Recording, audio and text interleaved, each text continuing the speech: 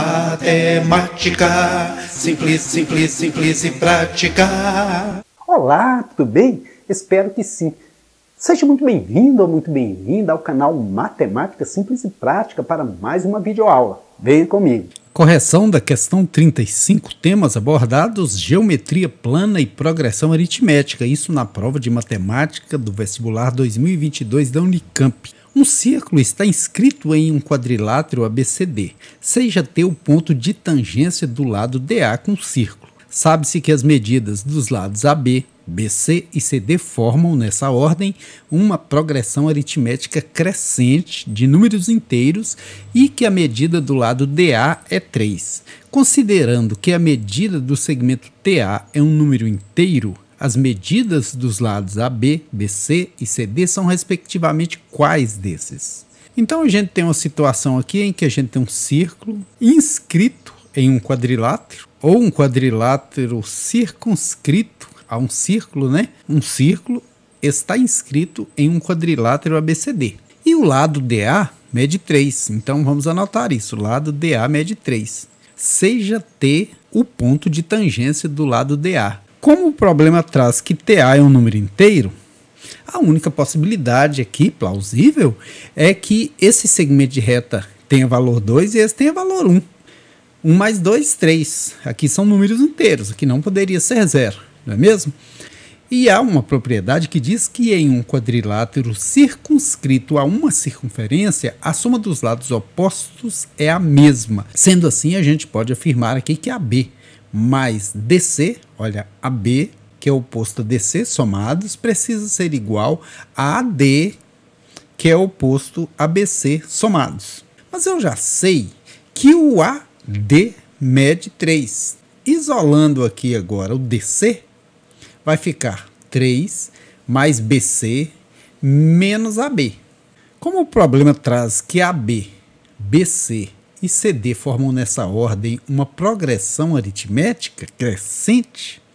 O que é uma progressão aritmética crescente? Que vai aumentando na mesma quantidade, crescendo. Veja um exemplo aqui. Se eu tiver essa progressão aritmética crescente 2, 4, 6, 8.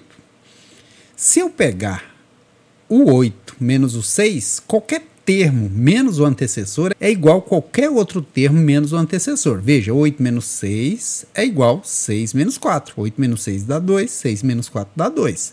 Aqui, 6 menos 4 igual a 4 menos 2. Qualquer termo menos o antecessor é igual a qualquer outro termo menos o seu antecessor. Assim, eu posso aplicar isso aqui à nossa situação.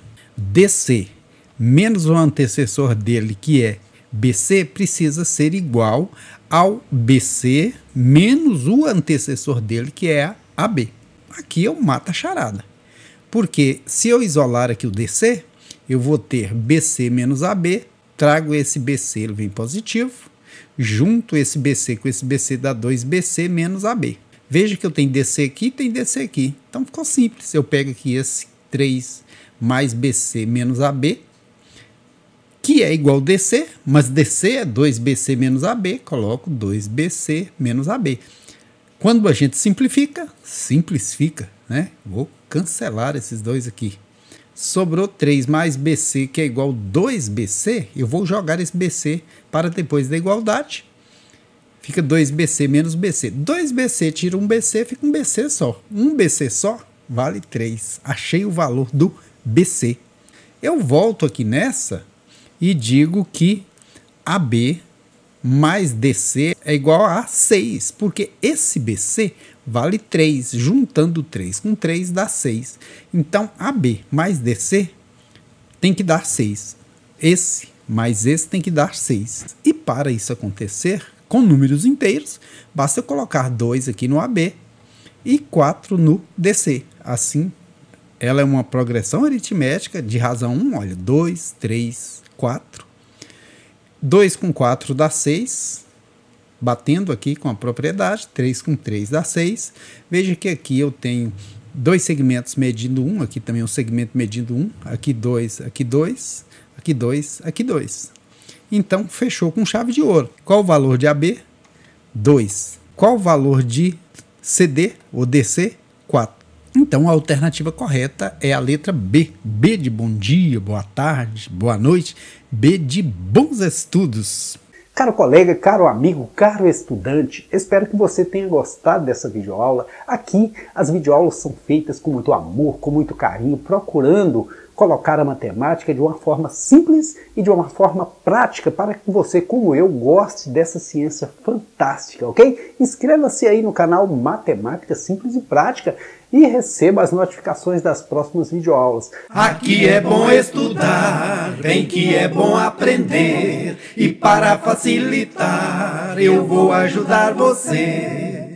Aqui é bom estudar, bem que é bom aprender e para facilitar. Curte o canal do vovô e dá um like. Aqui é bom estudar, bem que é bom aprender e para facilitar eu vou ajudar você.